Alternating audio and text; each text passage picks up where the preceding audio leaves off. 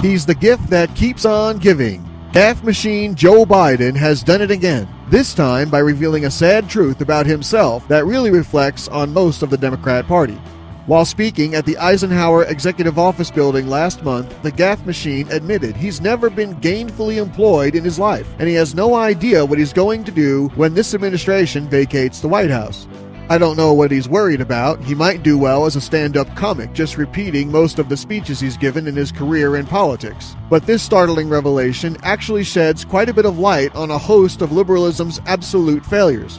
It's common knowledge that few liberal Democrats have ever had to sign the front of a paycheck. But here, the gaffe machine admits not only has he never done that, he's never had to actually produce anything to earn a paycheck. And he's not the only one. We now have a professional community organizer in the White House. I've never heard a satisfactory explanation for what that even is, let alone seen a job description or heard any other definition beyond riling people up for some political cause.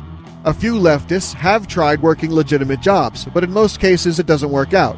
Hillary worked at the Rose Law Firm for a while, but was bounced out of there for lying and extreme corruption.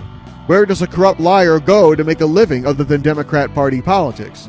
Then, of course, you have the phony job, invented for the sole purpose of providing an avenue through which money can change hands, like Michelle Obama being placed in some hospital position somewhere for 300,000 a year, but never having to show up or do anything to earn it, or Chelsea Clinton, fresh out of college and earning 900,000 a year at some news outfit. It's all done to buy influence. Why do you think a foreign entity pays Bill Clinton $750,000 to speak at an event? It's just a mere down payment on future rights to purchase influence.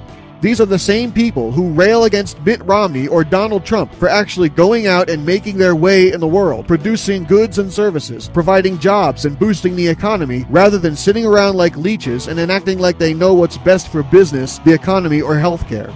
But don't worry, Joe. Even Jimmy Carter has managed to keep busy and sustain himself. You should be fine. Thanks for listening. Don't forget to subscribe and donate at theraywarnershow.com.